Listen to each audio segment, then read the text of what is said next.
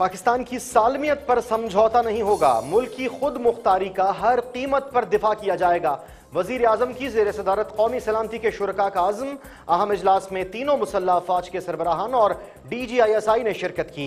मकबूज आबादी की सूरत हाल का सख्त नोटिस। कराची हमले की मजम्मत और फोर्सेस को खराज तहसीन भी पेश किया गया।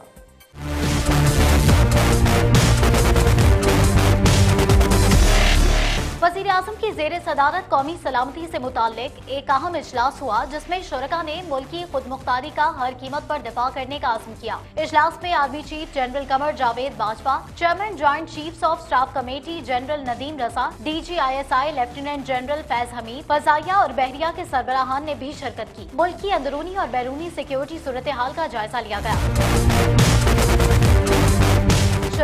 कहना था कि पाकिस्तान की खुद मुख्तारी का हर कीमत पर तहफ़ किया जाएगा। कौमी क्यादत का कहना था कि पाकिस्तान पुरम बकाए बाहिनी पर यकीन रखता है और अपने हमसाया ममालिक के साथ अमन चाहता है। लेकिन अपनी सालमियत के दिफा की भी भरपूर सलाहियत रखता है। अवाम और मुल्की सरहदों की सलामती के लिए पुरस्म है। मकबूजा कश्मीर में इंसानी हकूक की खिलाफ वर्जियों आरोप इजहार तशवीश करते हुए आलमी बरदरी ऐसी मुतालबा किया कि वो सूरत हाल का नोटिस लें। आला सतह इजलास में पाकिस्तान स्टॉक एक्सचेंज आरोप हमले की शदीद मजम्मत करते हुए सिक्योरिटी फोर्सेज और कानून नाफिज करने वाले इदारों को खराज तहसीन पेश किया गया।